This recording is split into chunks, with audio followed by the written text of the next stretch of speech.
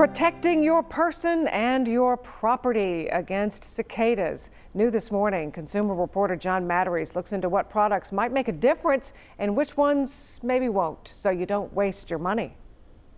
We're just hours away from cicadas taking over your lawn and garden. So are there any products that you can buy that could keep them away or at least reduce their numbers?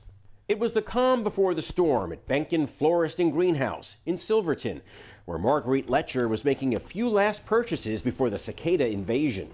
You're not looking forward to cicadas? No, that's gonna be home. Beth McDonald was wondering if it's worth trying to protect her landscaping, as her neighbors have done. They put netting all over their trees. Does it work? I don't know. We'll find out.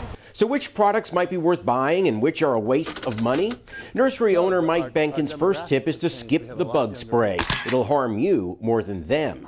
And cicadas are too big for lawn grub killer. Once that guy flies out, there's not a thing you can do about it. But he says you may want to protect young ornamental trees because cicadas laying eggs could kill their new growth. So he suggests draping them with mosquito netting or wetting fabric. You want to make sure it's completely covered you don't mind if you pull it a little tighter too, it won't hurt it. If you're really concerned about cicadas damaging a small young tree, the experts say the easiest thing to do is to wrap the lower trunk so cicadas can't climb up it. And he can't hold on to that. Mike used clear plastic tape, though aluminum foil can work too.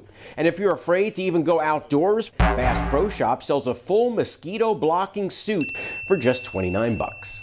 Finally, Mike Benken says don't worry about your flowers and shrubs. Cicadas don't eat them. So don't overdo it and don't waste your money. I'm John Matarese, WCPO 9 News.